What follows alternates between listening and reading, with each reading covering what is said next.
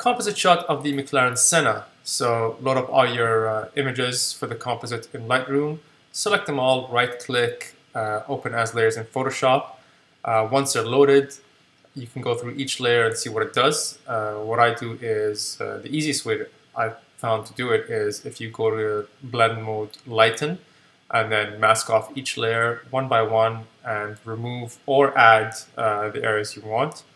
and then we go out and uh, remove the background elements we don't want. And finally, we use Pepper Yandell's actions uh, to sort of color grade and give it a bit of a punch.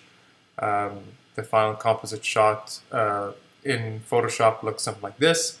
And then we take it to Lightroom for some final adjustments. Uh, I kind of played with it for a little bit, but I like the one without the color adjustments at the end composite shot of the McLaren 540C. Now, what I really like about this shot is we actually lit up all the little windows individually behind the car. Uh, I was on the phone with my assistant Aga at the back saying, okay, next window, next window.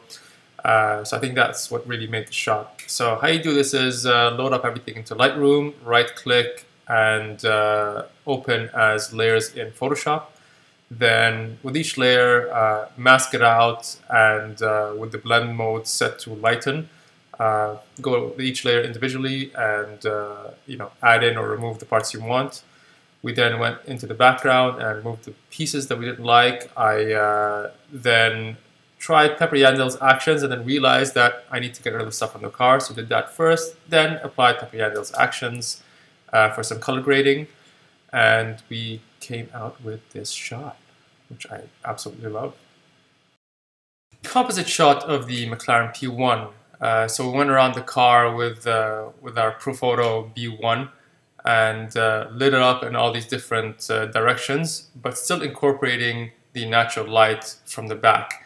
Um, I like this shot because of the because of the, uh, the the framing that the garage door gives it.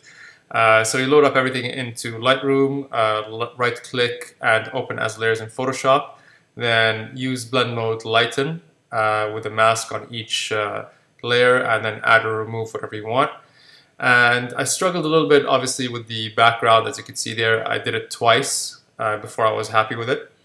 And then using uh, Pepper Yandell's actions, we color graded to get this, this color that you see just now taking it back to Lightroom, I just kind of fixed the perspective a little bit to make the line straight, and there you have it.